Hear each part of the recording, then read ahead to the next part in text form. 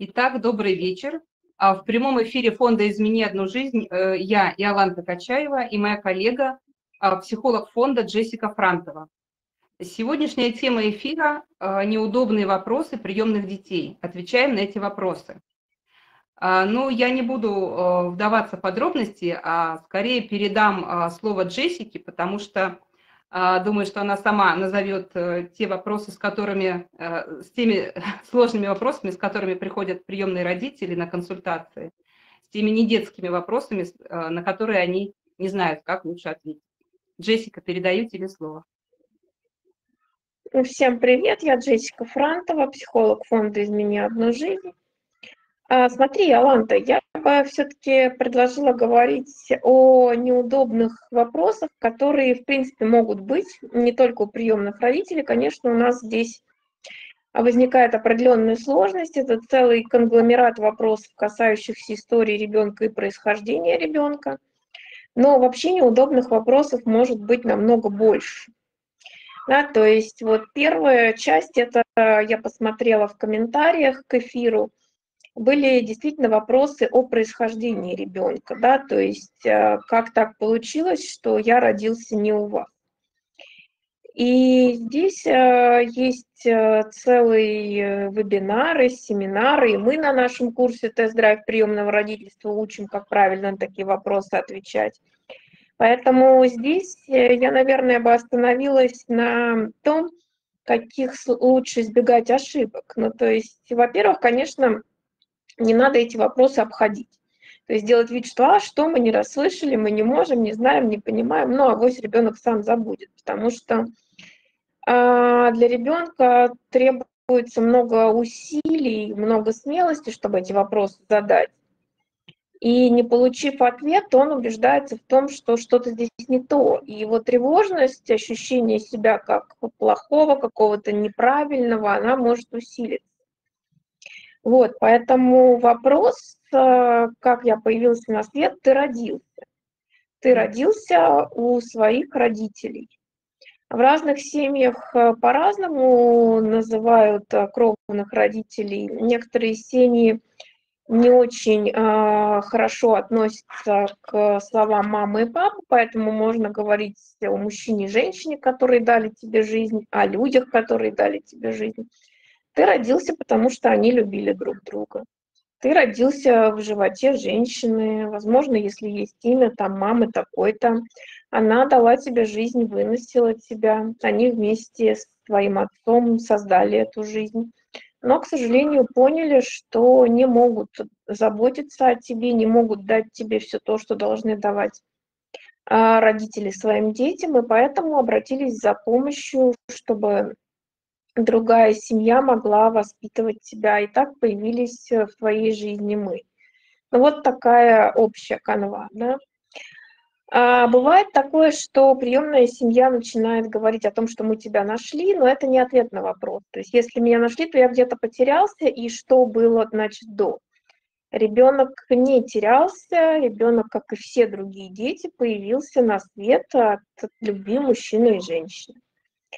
Вот. И, соответственно, просто его жизненный путь мог начаться с расставания со своими кровными родителями, да, об этом тоже можно говорить. Вот. Это если, наверное, очень-очень вкратце э, отвечать именно на этот вопрос, но этому уделяется достаточно много внимания на школе приемных родителей, на наших консультациях, у нас на курсе тест-драйв приемного родительства.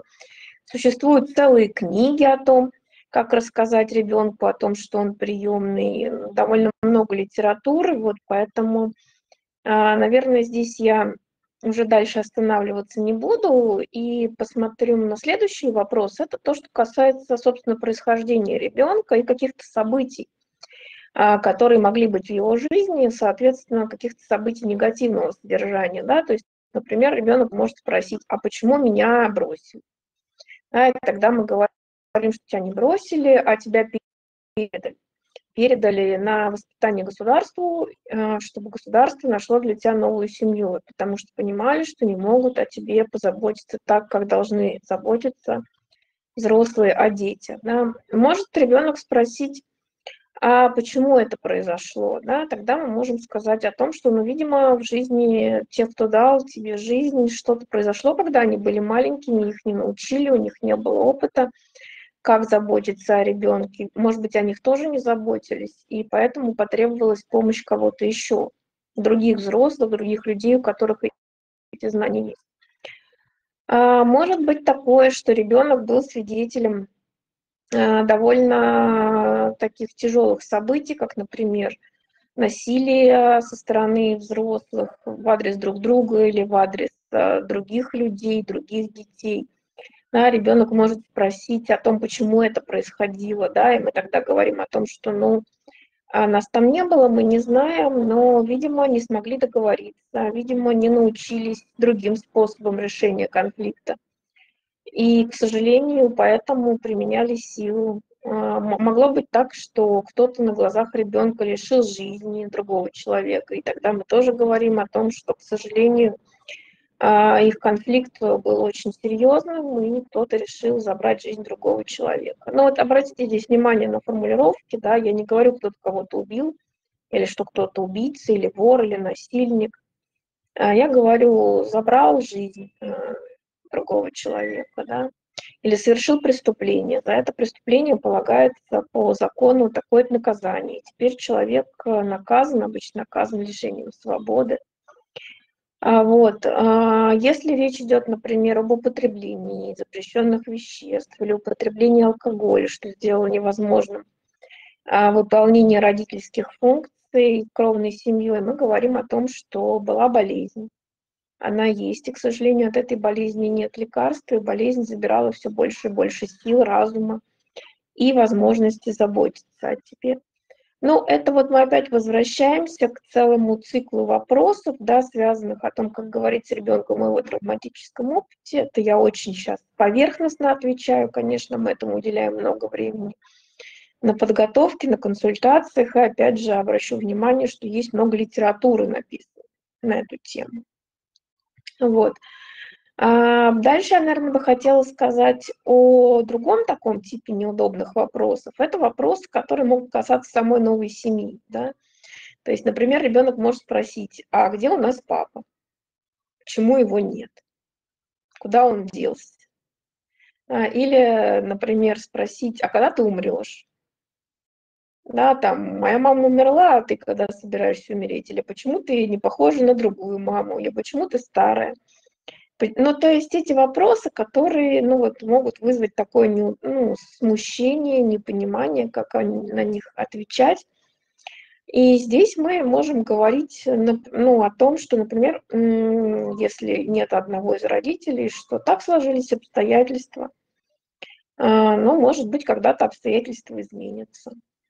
Да, если мы отвечаем на вопрос вот довольно часто, а ты не заболеешь, ты не умрешь, мы будем говорить о том, что я буду делать все возможное, чтобы быть с тобой столько, сколько я смогу.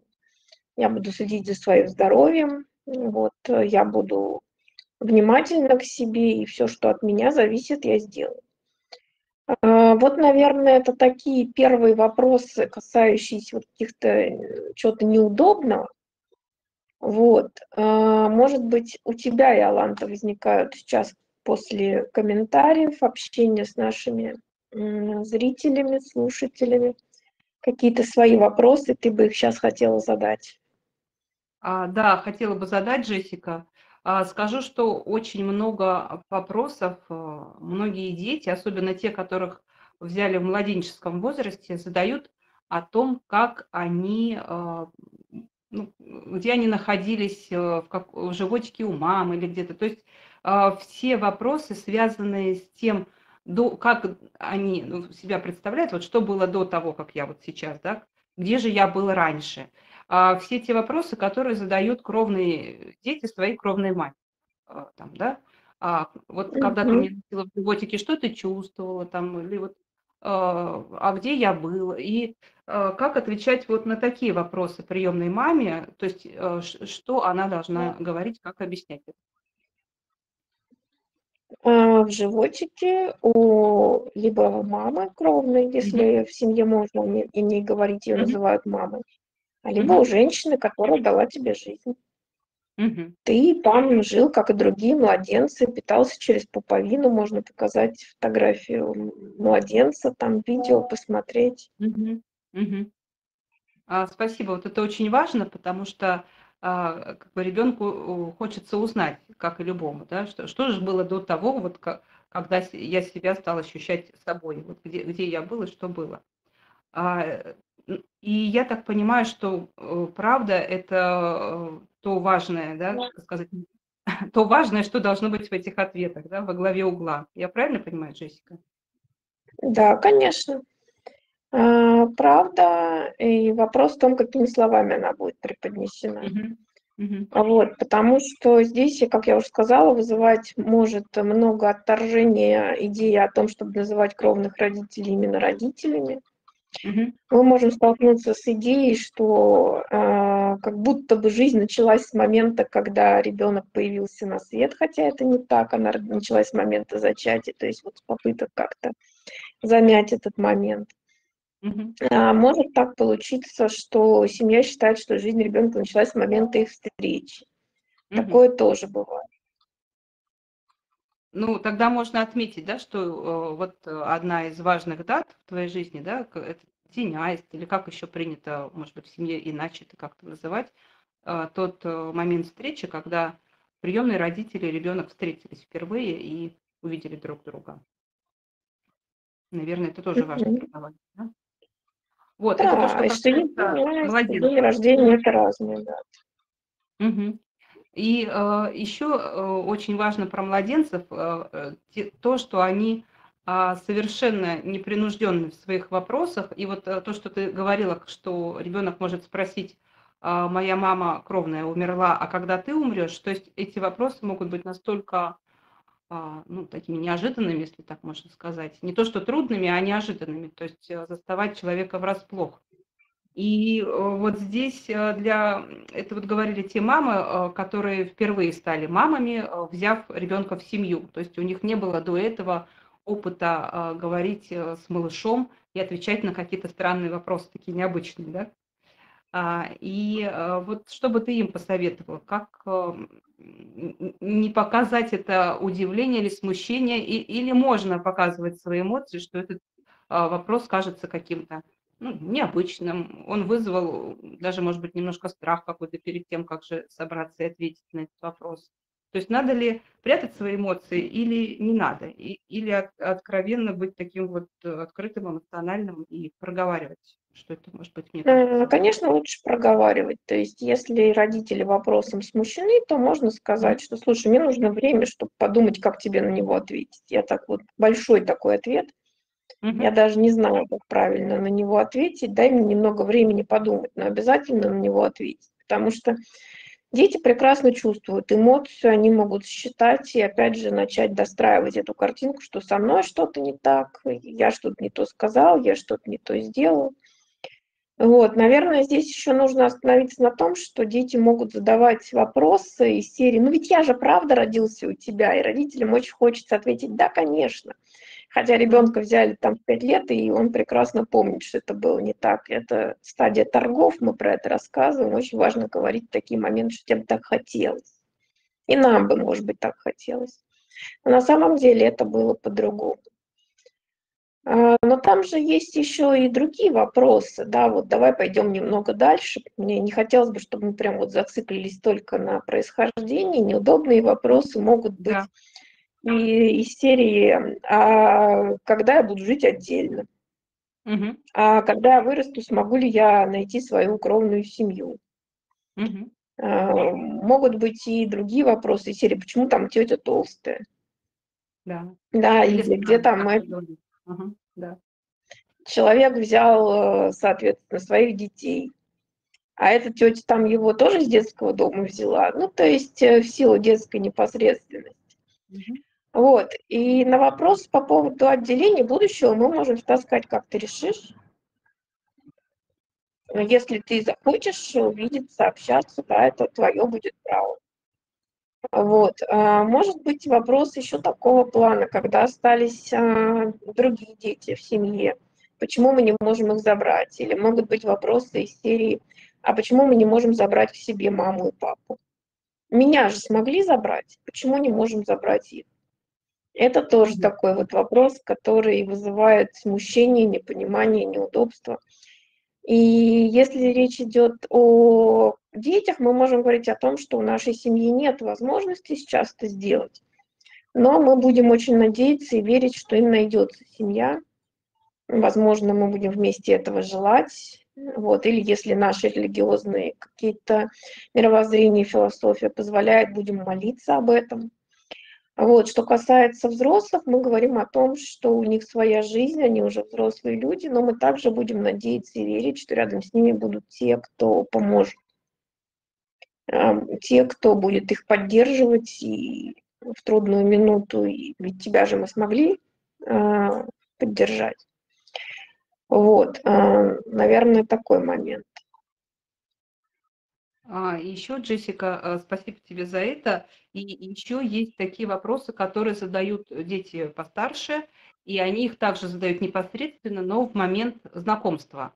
Э, тоже многие кандидаты в приемные родители рассказывали, что они приходили на встречу, и им было неловко от тех вопросов, э, которые им задавали. Например, у вас mm-hmm. есть машина, вы не бедные, у вас mm-hmm. есть еда, вы мне купите телефон. То есть это те вопросы, которые дети задавали тоже понимаем, мы понимаем, да, почему эти вопросы задают, а, но в тот момент, в момент волнения и стресса, конечно же, не все кандидаты в приемные родители а, считывали это все и находили, находились, да, как себя находили, как ответить на эти вопросы и не обидеться на эти вопросы. Вот что бы ты посоветовала, порекомендовала? Ну, вот здесь э, я слышу как бы два типа вопросов. Первый вопрос, э, ребенок проверяет вообще, насколько вы благополучный. Если mm-hmm. я пойду в семью, не будет ли это то же самое дисфункциональная семья, в которой я находилась. То есть если это вопрос, вот напрямую, есть ли у вас еда, мы можем сказать, слушай, да, нас проверили, у нас достаточно еды. Э, тем людям, у кого еды нет, детей не дают. И, а какая еда тебе нужна, что ты любишь? Ну, то есть дальше говорить об этом. А второе, то, что я сейчас как будто бы услышала в твоем вопросе, это вопросы про материальное состояние. Да? Точно ли ты тот Дед Мороз, которому я могу довериться? Это пугает, фрустрирует, создает ощущение, что нас используют. Вот, поэтому здесь можно спросить так, ну, то есть ответить так, что у нашей семьи есть возможность там раз в год купить телефон для там раз в два года а, скажем так, купить мотоцикл, у нас возможностей нет. Вот у нас такие возможности. Эм, а ты хочешь семью только там, где тебе готовы покупать исключительно каждый день телефон, или ты просто как-то хочешь, э, чтобы в семье а, была там любовь, достаток, э, забота. Вот. У нас вот такие возможности. Э, ребенок может тоже эти вопросы задавать от волнения, от непонимания. Он тоже хочет вообще понять, на что он может рассчитывать. То есть это не значит, что он пойдет э, в семью, где ему исключительно только каждый день новый телефон дарят. Но почему бы не спросить? Ну, да. В конце концов, взрослые люди на свидание, когда ходят и узнают материальное состояние, они тоже такие вопросы так или иначе задают. Угу. Бывает. Так что я думаю, можно просто обозначить, какие у нас есть возможности, и спросить у ребенка, а ты ожидаешь вообще как, каких возможностей у родителей? Для тебя, значит, сколько важность имеет только возможности финансовые, или тебе важно что-то еще, как ты думаешь? И э, спасибо, Джессика. Мне кажется, тут э, хорошо как раз а, мы подошли к моменту э, первой встречи с детьми, когда вот ты правильно сказала, что и ребенок может в стрессе задать не тот вопрос, да, который он готовил, может быть, или даже не готовил, но что-то вот вдруг спросилось почему-то. Я хотела тебя спросить, что есть ли какие-то, может быть, когда к тебе обращаются с вопросами приемной родителей, с вопросами, с э, просьбой рекомендовать что-то, а есть ли какой-то блок вопросов, который именно при знакомстве возникает у детей? Ну, какие-то, может быть, определенные, что они их чаще задают, когда дети на вот этой первой встрече что-то спрашивают. Это сложно сказать. Э, по моим ощущениям, дети больше стараются на первых встречах встроиться, то есть, mm-hmm. наоборот, отвечать на вопросы, либо очень активно начинают, э, ну, я извиняюсь э, за такое сравнение, но продавать себя. Mm-hmm. Ну, то есть рассказывать, какие они хорошие, да, и что они могут то, все, пятое, десятое. Mm-hmm. Вот, может быть такое, что ребенок, наоборот, замкнется и ничего не захочет отвечать. А может быть, особенно если это ребенок уже имеющий опыт проживания в разных семьях, он начнет выяснять, а есть ли у вас собака, а есть ли у вас маленький ребенок, а есть ли там еще дети, а бабушки есть. И эти его вопросы, они зависят от его опыта, да, то есть, может быть, там есть остался младший брат, по которому ребенок скучает. Или наоборот, был брат, который не давал спокойно жить и хочется заранее узнать. Или была собака, которая пугала. Или наоборот, по которой скучали. Или бабушка, которая заботилась. Или наоборот, которая явилась причиной, там подливала масло в огонь и способствовала возврату. То есть ребенок, вот исходя из своего опыта, эти вопросы задает, так же, как и родители. Они начинают спрашивать, а ты общаешься с своей кровной семьей, а кто твои друзья, а что ты любишь, ну, то есть пытаясь достроить вот какую-то картину. Хорошо. И еще я хотела тебя спросить вот о чем. А если, э, как ты говоришь, часто э, дети замыкаются, не то чтобы они задавали вопросы, не всегда они дают и ответы, да, когда их спрашивают. А насколько важно, чтобы ребенок открывался и спрашивал, и надо ли как-то поощрять вот эти вопросы, то есть чтобы он больше спрашивал, больше интересовался и э, как-то, э, ну, чтобы ему было не страшно спросить, вот, как поощрять ли это и, и как поощрять? А, ну, когда ребенок начинает задавать вопросы, да, это уже про интерес, про доверие, все-таки думает не про первую встречу, и, может да. быть, даже еще не про посещение. Я думаю, что можно, как всегда, сказать ребенку напрямую, что можешь задать любой вопрос или поблагодарить его, сказать, хороший вопрос, здорово, что ты спросил, мне важно на него ответить. Я с радостью тебе на этот вопрос отвечу. Если тебя еще что-то беспокоит, спроси, конечно. Мне приятно тебе отвечать. Хороший вопрос ты задал. Угу. А, ну, э, соответственно, если уже мы вступили в такой диалог и э, уже началась адаптация, а может ли быть какое-то табу вообще э, на, на какие-то вопросы? Или не должно быть никаких табу, то есть ребенок может задавать вообще любой вопрос? Ну, вот сейчас ты меня как-то даже поставила в тупик. Я не могу себе представить вопрос, который был бы табу. Ну, mm-hmm. понятно, что в семье могут быть свои правила, но глобально я с трудом могу себе представить, что есть табу на какой-то вопрос. Mm-hmm. А, то есть э, про что это вообще может быть? Может быть вопрос, который родителю неприятен, тогда он может сказать, что слушай, сейчас не готов ответить, отвечу тогда-то. Но, соответственно, в обозначенное время ответить. Mm-hmm. Может быть вопрос, на который непонятно, как сейчас отвечать. Ты тоже можно сказать, слушай, вопрос хороший, надо обдумать, чтобы на него ответить. Поняла. Ну, я почему спросила, не хотела тебя ставить в тупик, хотела как раз а, чтобы ты больше а, про это, ну, как бы, чтобы мы про, и про это тоже проговорили, потому что и такие вопросы тоже возникают у приемных родителей, особенно во время адаптации. Бывает, что ребенок э, задает, ну, так скажем, неприятный какой-то вопрос, и э, чувствуя, что родитель как-то замешкался, что-то там пытается как-то ответить и теряется, он может это еще раз задавать, да, ну, то есть как бы нагнетая эту обстановку и наблюдая, как э, приемному родителю не, неудобно, то есть может такое быть. Вот, ну, то есть я поняла, что мы все равно отвечаем, да, можем передвигать время ответа, да, обозначить, что я тебе попозже отвечу, там, сейчас не могу подобрать э, слов, или мне что-то сейчас вот как-то неловко или неприятно, да, ну, то есть мы не запрещаем задавать вопрос. Мы можем отвечать э, либо ответом, либо говорить, когда мы будем об этом говорить. Мгм. Ну, если мы Хорошо. хотим продолжения какого-то доверительного диалога. Если мы этого не хотим, то можно замалчивать, уходить, э, врать, скрывать информацию. Но у меня была фантазия, что мы все-таки про то, чтобы поддержать какой-то доверительный диалог. Хорошо, да, согласна с тобой. Ну и хорошо, что мы, мне кажется, это проговорили, чтобы. А, Я просто жду вопросов э, и разных, и удобных, и неудобных, пока а, пользователи не задают, не знаю, может, тема немножко такая сразу ставит в тупик про неудобные вопросы. Но мы нисколько не хотели сказать, что вы можете задавать что-то неудобное, да, вы тоже можете нам любые вопросы с Джессикой задавать, и обычно мы на все отвечаем.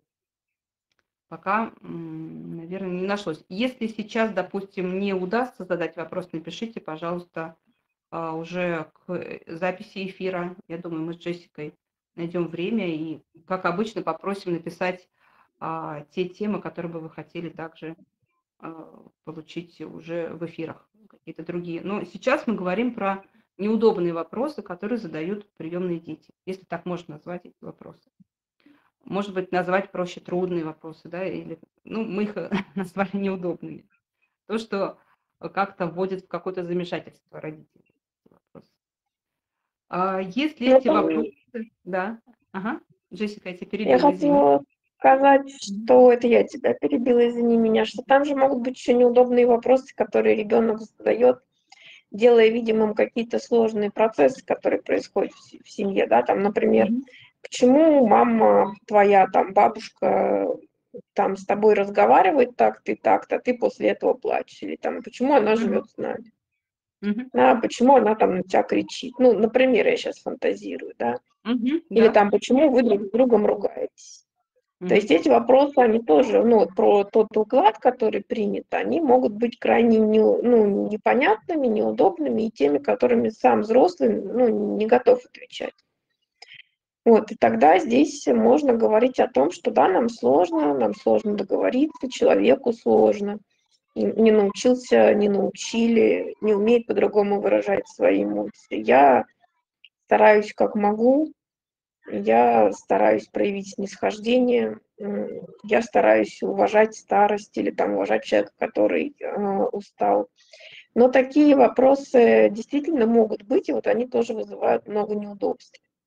Мгм. почему ты мало зарабатываешь, почему твой начальник кричит на тебя, почему ты на такой дурацкой работе работаешь. Вон же люди зарабатывают э, миллионы, да, там, а ты что-то не можешь там, все рассказываешь, что еле-еле хватает, да, поэтому можно говорить о том, что ну вот я выбирал так. Мне при выборе моей профессии было важно вот то-то и то-то. И Я э, получал удовольствие от того, что делаю именно эту работу. И поэтому я работаю на них. Да. Почему ты бедный? Почему ты больной? Почему мы не миллионеры? Да, такие вопросы вполне закономерны.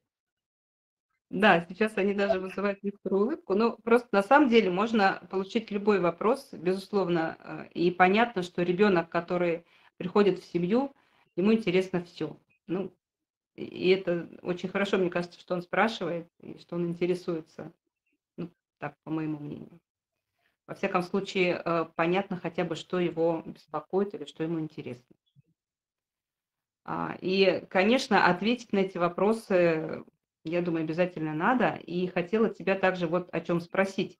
А, В семье, конечно, кроме мамы, есть чаще всего и папа, и другие родственники. И как, э, насколько важно, чтобы информация была хотя бы похожей, да, когда ребенок может спросить, как ча- часто бывает, сначала он спрашивает у мамы, потом он через некоторое время то же самое спрашивает у папы, и в какой-то момент, когда нет никого, он то же самое спрашивает у бабушки, так часто бывает. И потом он как-то там анализирует для себя, что же они все ответили. Вот э, как сделать так, чтобы не было больших расхождений в этих ответах? И, и насколько страшно, если расхождения будут?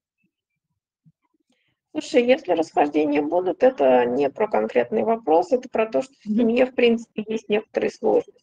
Мгм. Расхождения по ценностям, сложности в коммуникации, возможно, какой-то застарелый конфликт, поэтому мы а, много говорим на подготовке, да, о том, что очень важно выработать свои правила, угу. быть едиными, единой какой-то поддержив, придерживаться линии воспитании в принципе и в ответах на вопросы в частности.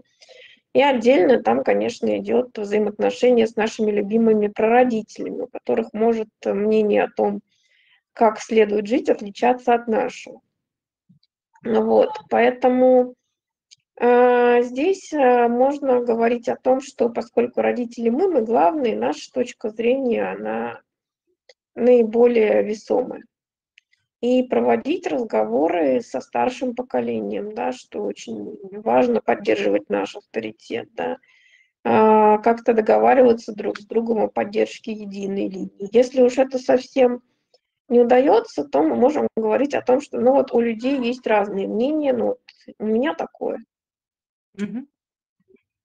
Хорошо, это тоже, мне кажется, а, важный момент, который ты сейчас а, объяснила, а, потому что часто, когда такой вопрос задается в большой семье, какой-то такой, ну, как считают родители, важный для ребенка, то родитель тоже думает, а что же вот я сейчас скажу, а что, допустим, скажет бабушка, да, или там свекровь, или теща скажет, если папа там дома. То есть э, надо ли потом еще проговаривать это с мужем или со свекровью, или с тещей, что вот я ребенку сказала вот так. Давайте там придерживаться. Я думаю, что да, безусловно. Да.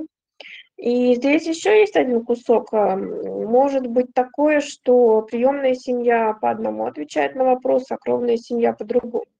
Да. И кстати, тогда еще очень важно объяснять, почему отвечают так, да. Например, возьмем банальную историю, да, кровная семья утверждает, что она ребенка заберет и готовит документы. Угу. А мы уже знаем, понимаем, что, к сожалению, это невозможно, да, и тогда тут имеет смысл, например, говорить о том, что им бы так хотелось. То есть, когда они говорят, что они тебя скоро заберут, они говорят о своем желании, о своем намерении. И мы верим в то, что намерение искреннее. Просто нужно сделать определенные действия, mm-hmm. связанные со сбором документов, э, еще какие-то телодвижения. Но, к сожалению, они, скорее всего, будут непосильны. Но когда они говорят о своем намерении, намерение. Спасибо, Например, да. Угу. Я так смотрю, наше время уже подходит, да, к своему финалу.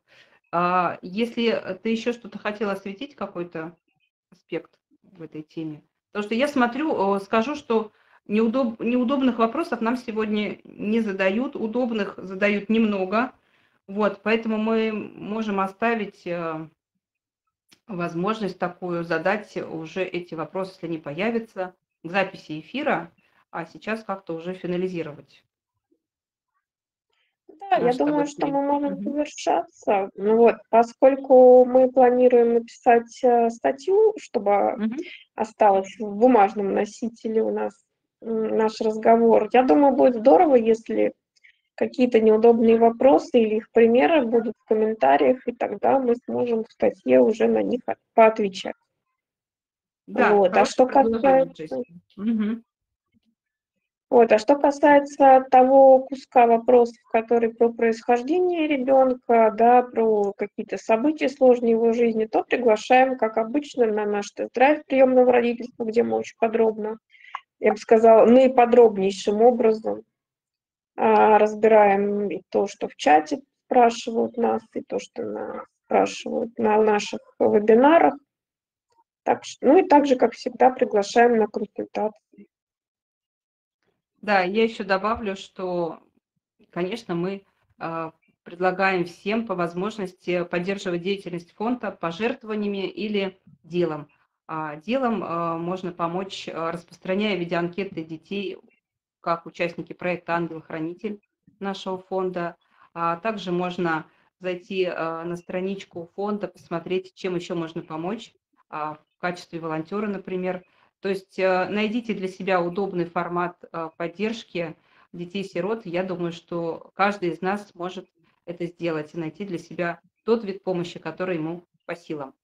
Вот, мы с Джессикой сегодня завершаем. Я говорю до свидания всем и благодарю Джессика, тебя и всех пользователей, которые сейчас с нами и которые будут э, наш эфир смотреть позже. Да, хорошо. Спасибо, Иоланда. Спасибо, слушатели. Всем до новых встреч. До свидания.